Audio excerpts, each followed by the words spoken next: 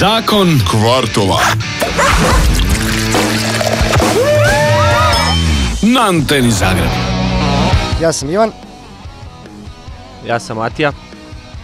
Ja sam Matej, osvojili smo feštu od Antene Zagreb i Žuje. Pozivamo i tebe da se prijaviš, prijavi svoj kvart, osvoji feštu i počasti svoj kvart i ekipu. Zakaj ste se prijavili?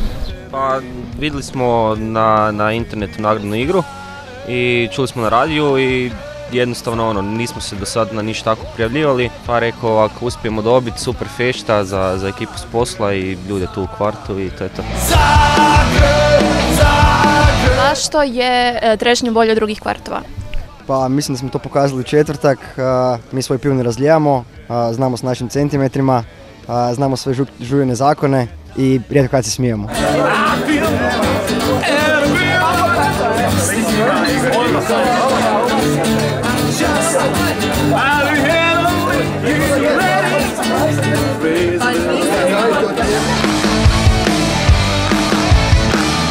Parti samo kad nije završio, kak je bilo?